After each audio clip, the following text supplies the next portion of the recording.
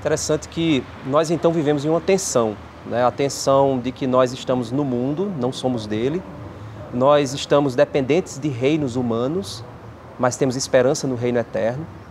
E aí isso me lembra muito aquele, aquele momento em que Jesus foi questionado sobre impostos. E a resposta dele foi: dar a César o que é de César e dar a Deus o que é de Deus.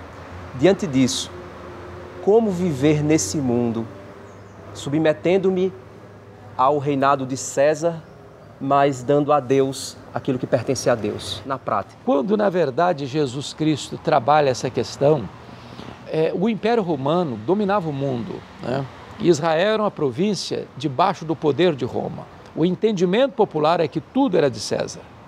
E Jesus quebra aquele paradigma. Ele se, até, até ele se coloca como Deus, né? É. Ele quebra esse paradigma dizendo, dai a César o que é de César e a Deus o que é de Deus. Ou seja, ou seja, existe um limite de governo. O governo humano tem limite, tem começo, tem fim e tem limitações.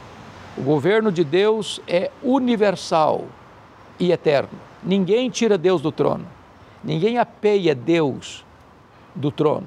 O reino de Cristo é eterno. Então, como cidadãos de dois mundos, somos cidadãos daqui, cidadãos do céu, nós devemos, sim, obediência e submissão aos governantes terrenos, dentro da limitação estabelecida. Por quê? Porque o entendimento bíblico é que a autoridade, ela é autoridade debaixo da autoridade de Cristo, o Rei dos Reis.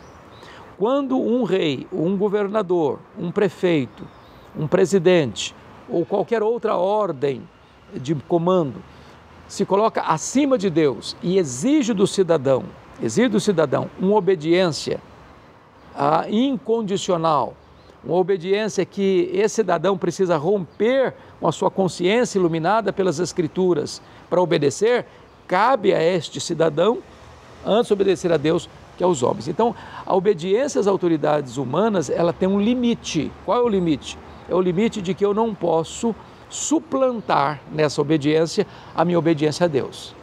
Antes importa agradar a Deus.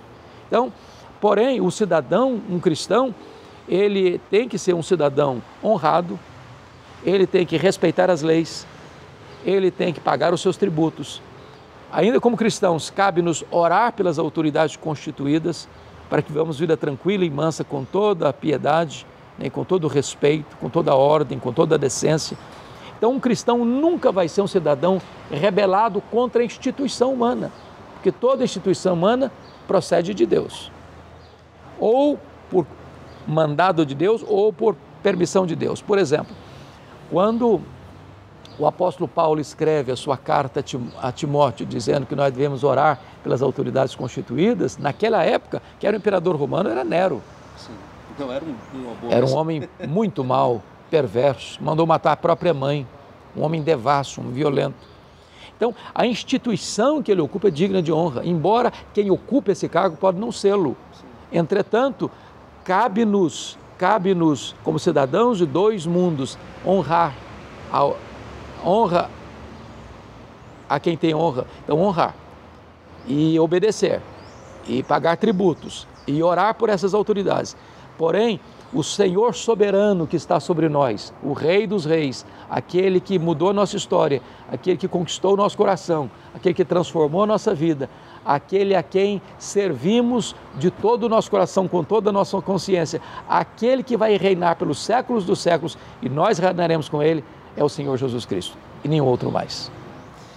Diante dessa, dessa realidade, Pastor Hernandes, é, como aconselhar o nosso povo a encontrar essa esperança, porque é, esperança se dá quando eu não vejo, né?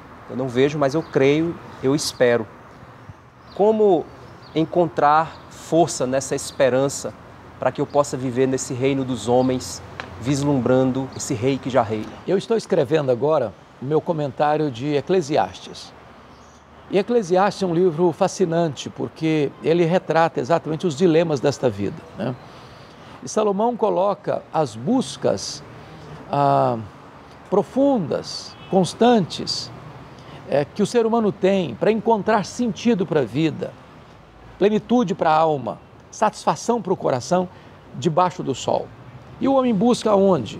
Busca na riqueza, busca na fama, busca no conhecimento, busca no prazer, busca no trabalho, busca na prosperidade, busca nas conquistas humanas. E tudo que o homem vai botando a mão, ele, ele percebe que vai evaporando. Vaidade. Vaidade, bolha de sabão, apenas um vapor que vem e que vai. Então, é, é, nós temos que dizer para as pessoas que a única esperança que não se esvai não é aquela que você encontra debaixo do sol, mas é aquele que está acima do sol, naquele que criou o sol, que governa sobre todo o universo. Este é Jesus Cristo. Então, é, nós vivemos as tensões da nossa nação, tensões de todas as ordens, né? tensões políticas, tensões ideológicas, tensões é, é, sociológicas, tensões antropológicas, antropológicas, tensões religiosas de todos os lados, de todos, todos os cantos. E, e isso para nós é, uma, é um brado. Põe a sua esperança em Cristo. Ele é o Rei dos Reis, Ele é o Senhor dos Senhores. Não há nenhum outro refúgio, não há nenhum outro fundamento, não há nenhuma outra realidade que possa preencher a alma, dar sentido para a vida e dar norte para a nossa jornada, aqui e além do mundo, a não ser Jesus.